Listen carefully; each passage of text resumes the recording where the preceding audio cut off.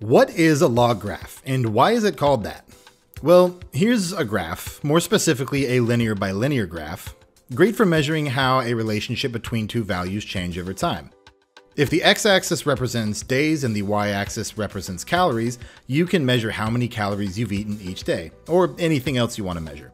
Useful, but not useful in every situation.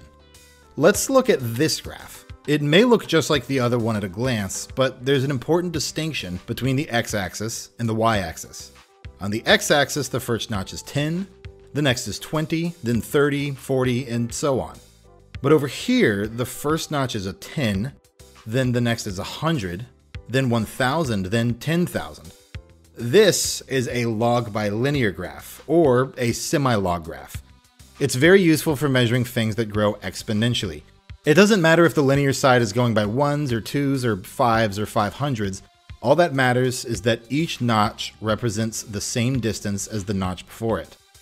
Likewise, it doesn't matter where the log side starts so long as each notch increases exponentially. So let's get into why this is useful in situations where a linear by linear graph is not. Imagine you're a musician and you've grown massively over time.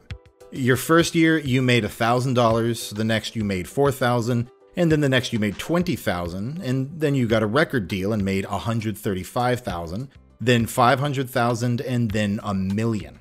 If you were to plot these points on a linear by linear graph, where the bottom is each year and the side is the amount of money you made, you would get this. Looks impressive, but all it says is one thing, which is that you had exponential growth. But what if you had a hunch that in July of every year, your record sales seem to go down? No matter how high they were for that year as a whole, in July there's some dip. How could you possibly know that by looking at this graph? Well, let's plot these same points on a log linear graph. We get this. Much better. Now, instead of comparing the highest number to the lowest number, we're able to compare low numbers to low numbers and high numbers to high numbers we can see, in fact, that despite the massive growth, there seems to be a dip in the middle parts of each year, or at the very least, a slowing of growth.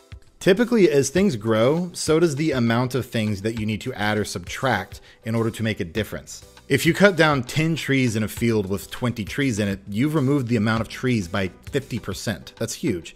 If you were to cut down 10 trees in a dense forest with thousands or tens of thousands of trees, no one would really even notice. This effect shows up all the time in nature, which is why we often use log scales in order to measure things. The pH scale, which measures acidity, the Richter scale, which measures the energy of earthquakes, the half life scale, which measures decay, decibels, which measure the volume of sound, particle distribution, the brightness of stars, transparency, astronomical body sizes. All of these things are measured using a scale where increasing one unit increases what is being measured exponentially. But here's a question why the name log? Well, it comes from the term logarithm, which is a mathematical function that makes this possible. The log function itself is actually pretty simple, it's just an exponent that's asking a different question. Here we have 2 to the power of 3 equals 8. This is asking us that if we send 2 to the power of 3, what do we end up with? Oh, well, 8. Now, a root is asking us what this number is. So, what number to the power of 3 equals 8? Oh, um, well, 2, and we arranged the equation to look like this. Now log is asking us what this number is. It's looking for the exponent. So 2 to the power of what number equals 8? That equation is arranged like this, and it would be read like, what is log base 2 of 8? The answer being 3. So an exponent equation asks us what the answer is, roots ask us what the base is, and log asks us what the power is. Here's what they're called here's the question being asked, and here's the equation that represents them. So if the log graph represents exponential growth, then why is it called a log graph and not an exponential graph? Well, it's because the log function is asking us the right question. On a graph, we're trying to figure out where to put our dot based on the data we have. That's the question the graph is asking us. Basically, we want to know which one of these notches we should place our point on. Well, with a log function, we know what our base is, it's 10. So these are increasing powers of 10. And we know what the final number is, that piece of data we have, and here it is, it's 100. So the question is, which knot do we put our data on? And oh, the answer is 2. So the second notch.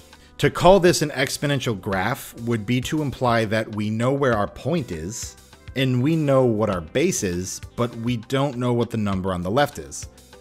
Well, to call it a root graph would be to imply that we know where the dot is, and we know what the number on the left is, but we don't know what our base is.